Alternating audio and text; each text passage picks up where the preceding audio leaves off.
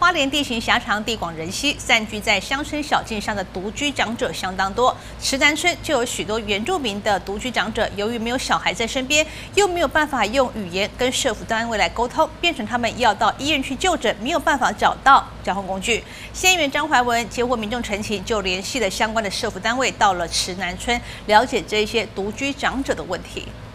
虽然在科技发达的现代、人手一机的资讯时代里，每一个人都能够透过手机来寻求社会资源，但是慈南村的独居长者平均年龄都在七十岁到九十岁之间。由于散居在乡间小道上，要外出看诊也就相当不容易。平日来到慈南村的交通车要少，也就变成了他们在看诊就医的意愿上也就相当低。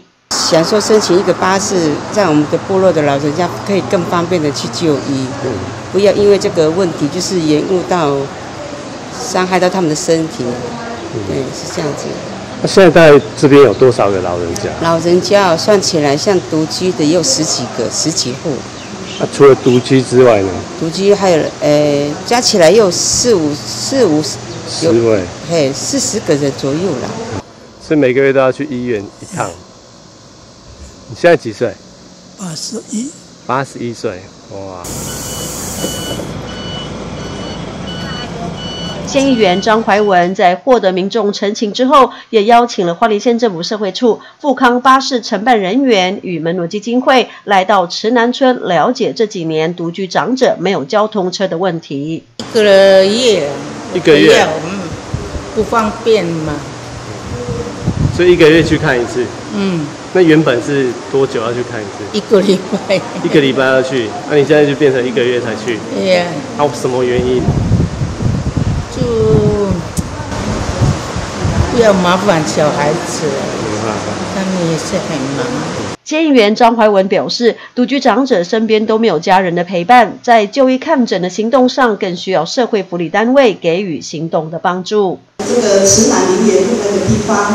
有很多的长者，需要去复健，所以护康巴士吼没有办法到达吼，所以我今天也特别请到我们社会处，等一下有承办人员以及门诺基金会诶的承办人员，等一下会来说明。如果各位有什么需要，呃，花莲县政府来服务的哈，那我们就尽量来提出来哈。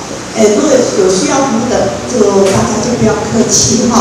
那我想，富康巴士哈，我们花莲县政府区曾贵县长哈，呃，他有这个社会福利工作，我们他结合门诺基金哈，就是希望说更能够照顾我们哈。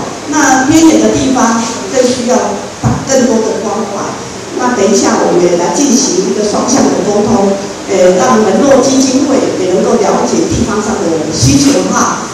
幅员辽阔的花莲县有许多村落都散居在偏远地区，独居长者就医看医交通问题始终是目前最大的需求。而社福单位的电话服务人员无法以主语跟部落长者做有效的沟通，这也是他们目前遭遇最困难的问题之一。也希望社福单位能够重视他们的问题。记者林杰受封采访报道。